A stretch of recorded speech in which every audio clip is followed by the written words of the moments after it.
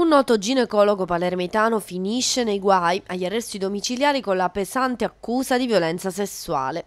Grazie alla denuncia di una donna tunisina di 29 anni, poliziotti della sezione di polizia giudiziaria presso la Procura dei minori hanno notificato al dottore Biagio Adile, direttore dell'uroginecologia di Villa Sofia, il provvedimento firmato dal GIP su richiesta della Procura.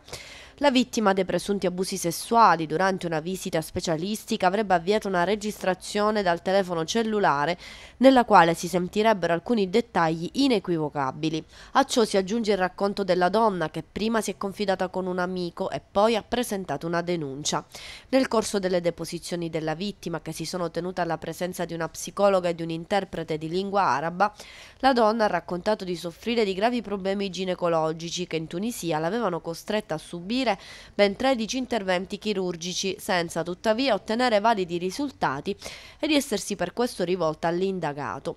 Dopo il primo episodio di violenza nello studio privato nel dicembre del 2016, il medico che nel 2014 si era candidato anche a sindaco di Racalmuto le avrebbe detto di fare anche un'ecografia gratuita presso un suo amico che lavorava in ospedale. La donna, sospettando che si sarebbe potuta ripetere la violenza, ha portato il cellulare per filmare la visita, riprendendo così gli abusi. Le indagini si sono anche avvalse della consulenza tecnica di un perito della procura che ha estrapolato la registrazione che ha fornito riscontri alle accuse. Adesso si indaga per accertare se il ginecologo abbia violentato anche altre donne.